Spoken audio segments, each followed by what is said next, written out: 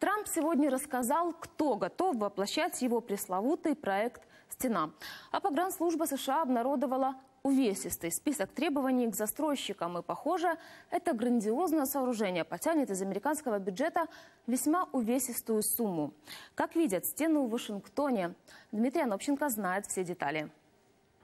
Ее уже прозвали Великой Американской стеной по аналогии с Великой Китайской. Масштаб, конечно, не тот, но споров и разговоров этот проект вызывает столько. Ведь сооружение будет грандиозное.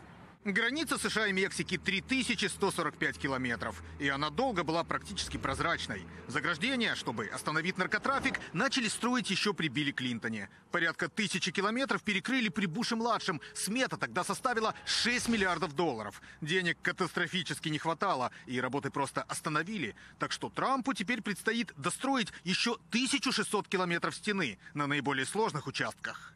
Американская пограничная и таможенная служба, здесь это единое ведомство, сейчас вывесила детальный список требований к тем, кто возьмется за сооружение стены.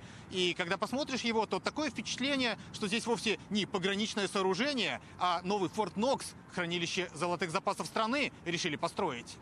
Проекты с высотой менее 5,5 метров даже рассматривать не будут. В документах указано, что в идеале стена должна быть выше 9 метров, выглядеть солидно и внушительно. По завершении строительства ее следует выкрасить в приятный цвет, но только со стороны США. На покраску обратной стороны можно и не тратиться.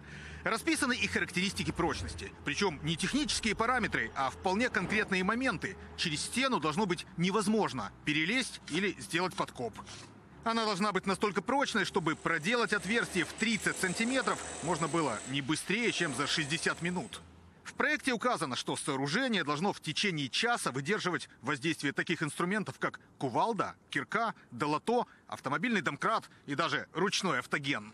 Дональд Трамп накануне дал большое интервью Fox News, в котором сказал, как бы его ни критиковали, но проект будет завершен, стена в Америке появится. Другое дело, что он не упомянул о том, кто все-таки за это заплатит. Э, дело в том, что политик очень часто заявлял, все до цента компенсирует Мексика, но сейчас выясняется, что финансировать все-таки придется американским налогоплательщикам. В проекте бюджета США предусмотрено, что на строительство выделят полтора миллиарда долларов. Сколько миль стены за эти деньги удастся соорудить, непонятно, ведь большую часть съест подготовка проекта и котлован.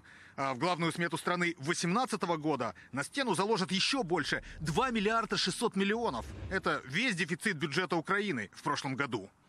Ну и теперь в Конгрессе предстоят очень серьезные бои для того, чтобы бюджет Америки с этой вот строчкой на финансирование стены все-таки утвердили. Дело в том, что одно из двух своих главных предвыборных обещаний – остановить поток мигрантов – Дональд Трамп выполнить так и не может. Его антимиграционные указы постоянно блокируют в судах.